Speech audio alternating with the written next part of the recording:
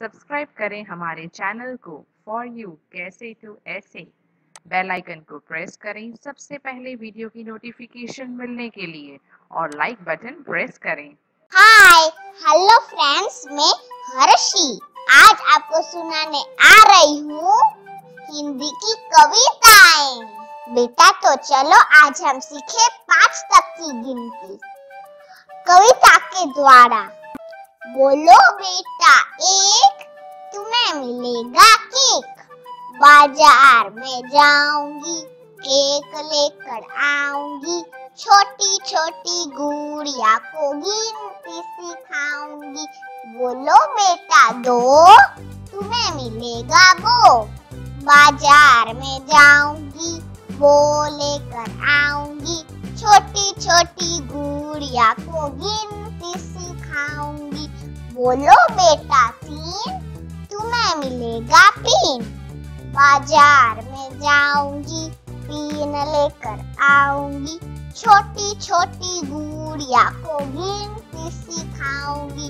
बोलो बेटा चार, तुम्हें मिलेगा हार। बाज़ार में जाऊँगी, हार लेकर आऊँगी छोटी छोटी गुड़िया को गिनती सिखाऊँगी। बोलो, बेटा पाँच तुम्हें मिलेगा कांच।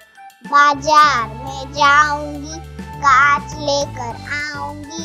छोटी छोटी गुड़िया को गिनती सिखाऊँगी। छोटी छोटी गुड़िया को गिनती सिखाऊँगी। चलो अब हम दूसरी कविता शुरू करते हैं। वो पता किसके बारे में है? सर्दी के बारे में। कैसी सर्दी आई जी? कोहरा करे चढ़ाई जी। छ छ पर डुबा लगे, सब पर जमी मलाई जी। रात रात भर बिस्तर से करते सभी लड़ाई जी। सूरज दादा छिप छिप कर लेते कहीं जमाई जी। दांत बजे किसने शाम ढाई जी। गरम पकौड़े, कॉफ़ी पर सबने नज़र गड़ाई जी। ये कविता के लेखक हैं राम नारायण चौधरी जी। अभी हमारी कविता है तितली सयानी बड़ी सयानी तितली रानी, फूल फूल पे जाती है।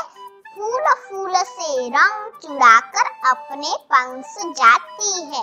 बड़ी सयानी तितली रानी मेरा मन ललचाती है। जब मैं उसे पकड़ने जाता, इधर उधर उड़ जाती है। बड़ी सयानी तितली रानी फूल फूल पड़ जाती है। इस काव्य के लेखक है हरिवंश राय बच्चन जी।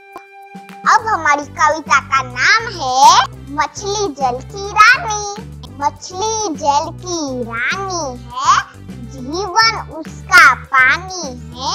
हाथ लगाओ तो डर जाएगी बाहर निकालो तो मर जाएगी। पानी में डालो तो जी जाएगी, पानी में डालो तो जी जाएगी। मछली जल की रानी है, जीवन उसका पानी है। आज मंगलवार है, चूहे को बुखार है। चूहा गया डॉक्टर के पास। डॉक्टर ने लगाई सुई। डॉक्टर ने लगाई सुई। चूहा बोला, उई उई, चूहा बोला, उई। आज मंगलवार है, चूहे को बुखार है। चूहा गया डॉक्टर के पास। डॉक्टर ने लगाई। सुई अभी हमारी जो कविता है प्लास्टिक बैग को ना, जो कि हर एक को समझने जैसी है। तबक तबक ताता थैया तबक तबक ताता थैया। प्लास्टिक बैग को नाना भैया प्लास्टिक बैग जब खाएगी तो घाय मर जाएगी। तो सोचो बच्चों, मम्मी दूध कहाँ से लाएगी?